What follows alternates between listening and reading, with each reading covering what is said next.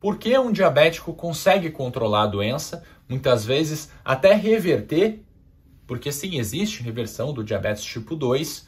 E por que outro não? Tem pessoas que têm diabetes, sempre estão com os níveis altos de açúcar no sangue, têm complicações pela doença. Nesse vídeo eu citei nove sinais que indicam que você vai estar deste lado, que você vai ter um bom controle ou até mesmo vai conseguir reverter a doença. O primeiro sinal, você faz exames de rotina. Você, mesmo quando está sentindo bem, quando não tem nenhum tipo de sintoma, você procura o médico, faz o acompanhamento, faz os exames no tempo, no período que devem ser feitos. Essa é uma grande característica, porque é muito frequente, depois que você começa o tratamento do diabetes, você melhora dos sintomas, você fica com energia, você fica se sentindo bem, você não tem nenhum tipo de sintoma. Muitos pacientes acabam espaçando, acabam largando o acompanhamento na frequência que ele deve ser feito. E esse aqui é um dos divisores. Eu vejo isso todos os dias. Muitos pacientes só fazem exames quando estão sentindo mal. Esse é o seu caso? Te peguei na primeira já? Não. Espero que não. Espero que você faça os exames mesmo quando está sentindo bem, porque esse é um dos grandes sinais que você vai ter um bom controle. Se você já faz, parabéns, você está no caminho certo. Número 2. Não bebe bebidas açucaradas. E aqui eu estou falando suco de laranja, mesmo integral, suco de uva, refrigerante, então nem se fala. Você não coloca açúcar no café, se você não faz isso, você já está mais um ponto para você para entrar nesse grupo aqui de um bom controle do diabetes. É fundamental que você não beba bebidas açucaradas. Isso, só essa medida já aumenta muito as suas chances de controlar o açúcar no sangue. Por quê? Essas bebidas açucaradas, refrigerante, por exemplo, tem um tipo de carboidrato que nós chamamos de açúcar. É um carboidrato simples. Quando você bebe, seu açúcar no sangue aumenta. Logo, tem que acontecer? Vai ter um pico de insulina. E se você não tem ação do hormônio insulina, se o seu corpo está resistente à insulina, no caso do diabetes tipo 2, ou então do diabetes tipo 1, é uma doença autoimune que seu corpo não produz insulina, o que vai acontecer? Se a insulina não consegue trabalhar ou seu corpo não produz, os níveis de açúcar no sangue vão aumentar. E é um ponto que você deve observar. O que você pode fazer? Ou substituir por água, você vai estar fazendo um bem para a sua saúde, ou então coloque uma bebida saborizada, suco de limão, por exemplo, suco de maracujá, ou então o que eu gosto muito de fazer, eu pego uma rodela de limão, coloco gelo e coloco um pouco de água. Não vai aumentar o açúcar no sangue e ainda vai ser bom para a sua saúde. Então, o segundo sinal, você não bebe bebidas açucaradas ou adoçadas. Espero que você não coloque açúcar no café. O que me diz?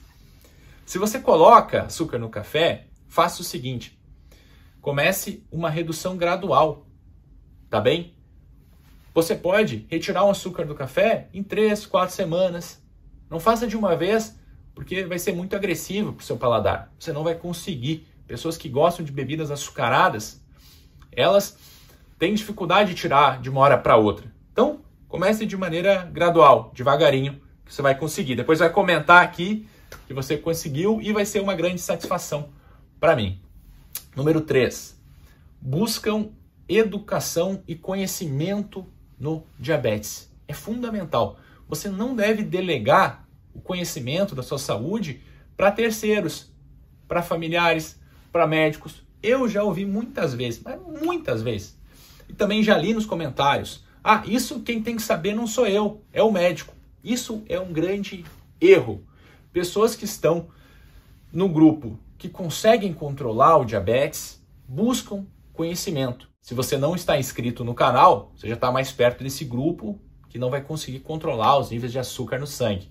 Brincadeira, pessoal, é uma piada, não precisa necessariamente seguir as minhas recomendações, mas escolha profissionais sérios que não recebem patrocínio da indústria farmacêutica, que não estão tentando te vender nenhum tipo de remédio ou suplemento. Eu recebo propostas diárias para colocar vídeos aqui no canal da indústria farmacêutica e eu não aceito, porque eu não quero comprometer o meu discurso, as informações científicas que eu passo aqui. Então eu não tenho interesse nenhum financeiro. Se você quiser se inscrever e seguir acompanhando, já fica o convite. Também se lembra de ativar o sininho de notificações. Clique em cima do sininho, marca todas as opções, para sempre que eu postar, você receber uma notificação e seguir acompanhando os vídeos novos. Número 4. Não tenha o hábito de beliscar. E aqui é muito importante, porque você está tentando controlar os níveis de açúcar no sangue e cada vez que você vai na cozinha ou vai na sala, você acaba beliscando, você acaba pegando algum alimento para comer entre as refeições, por exemplo. A cada duas horas você faz isso. O que vai acontecer? Além de você aumentar a ingesta calórica, você provavelmente também vai estar consumindo açúcares e vai dificultar o controle glicêmico.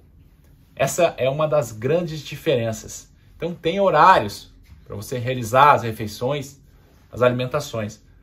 Se você não tiver horários, é um dos fatores que te colocam nesse grupo que vai ter mais dificuldade para ter um bom controle do diabetes. Vamos deixar claro aqui que se for diabetes tipo 1, como é uma doença autoimune, só é possível ter um bom controle, o que já é ótimo. Não é possível reverter o diabetes tipo 1.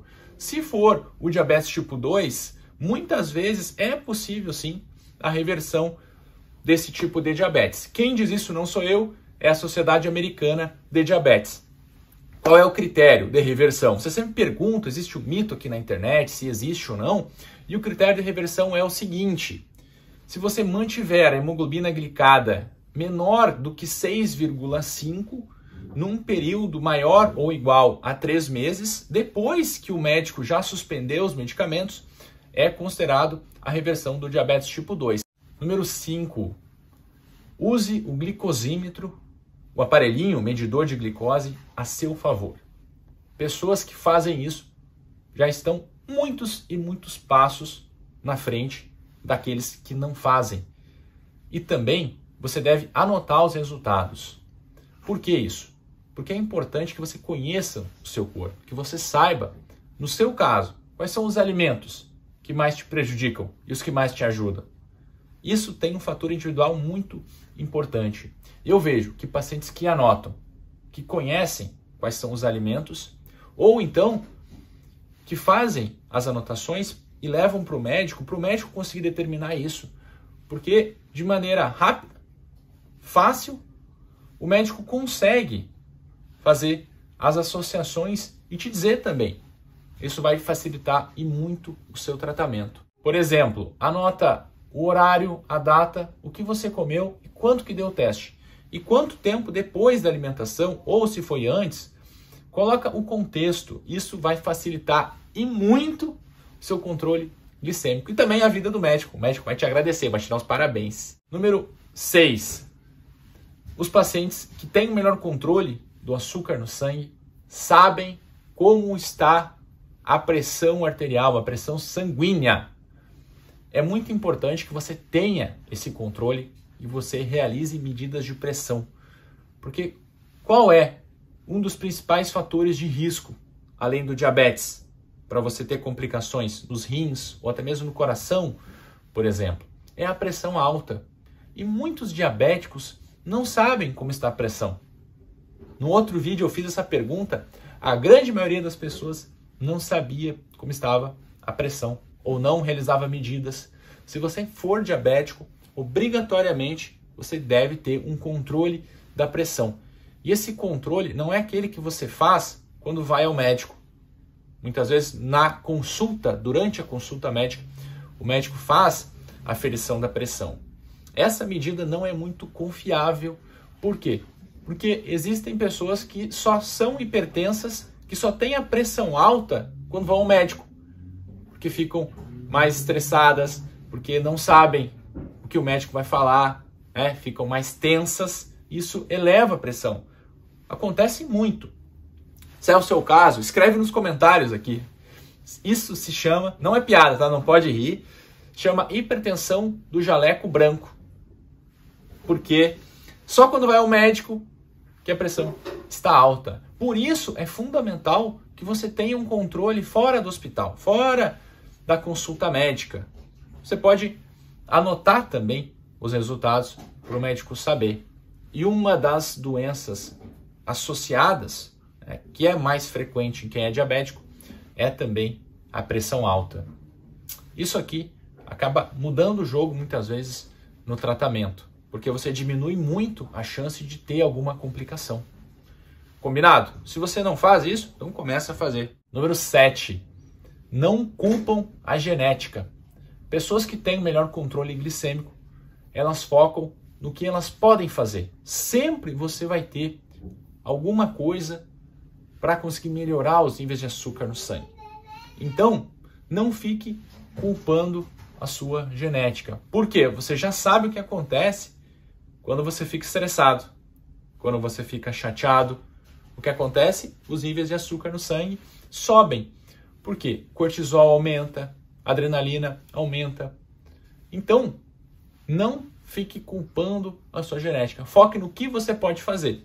E essa é uma das grandes diferenças dos pacientes que vão ter um bom controle glicêmico. Eles procuram soluções, eles procuram saber ó, o que eu posso fazer para melhorar. Enquanto pessoas que estão com controle glicêmico fora da meta, muitas vezes acabam desistindo de fazer coisas para melhorar. Acabam dizendo, não, isso é culpa da minha genética, eu não tenho muito o que fazer, que é uma grande mentira. Você não precisa aceitar isso. Oitavo sinal e muito importante: controle das refeições. É muito importante que você saiba que você está ingerindo, que você mesmo programe as suas refeições, a alimentação. Se você delegar isso para outra pessoa, muitas vezes ela vai comprar ou então preparar alimentos que não são bons para você. Então você tem que ter esse conhecimento. Se você trabalha fora, saiba que sai muito mais barato você programar sua alimentação do que você ficar comendo em restaurantes que você não sabe a procedência, ou às vezes você tem poucas opções. Então vale a pena. Essa é uma característica também. Pessoas que têm um bom controle glicêmico têm controle sobre os alimentos, preparam as refeições, conseguem programar isso. Então faça isso. Se você não faz, você vai ter uma chance muito, mas muito maior de ter um bom controle glicêmico. E o nono sinal, não acreditam em falsas promessas não existe tratamento rápido para o diabetes ou não existe nenhuma fórmula mágica que vai melhorar o diabetes da noite para o dia. É um conjunto de ações que você deve fazer para conseguir ter um bom controle glicêmico. É uma luta diária, mas você pode vencer essa luta e conseguir ter um bom controle do diabetes. Então não acredite em falsas promessas. Pessoas que sabem disso conseguem ter um melhor controle glicêmico. De 0 a 10, qual nota você dá para esse vídeo? Se for 10, eu faço mais vídeos como esse. Também escreve qual parte do mundo que você está assistindo esse vídeo, qual cidade que você pertence. Coloca nos comentários. Eu sou de Porto Alegre e você? Agora eu vou deixar uma sugestão para você assistir. É um vídeo que foi muito pedido aqui no canal sobre os legumes. Você sabe quais são os melhores e os piores legumes? Nesse vídeo aqui, você encontra essas informações. Você lembra que eu falei sobre educação e informações no diabetes? Então, assiste esse vídeo aqui, você vai ter muita informação. Um abraço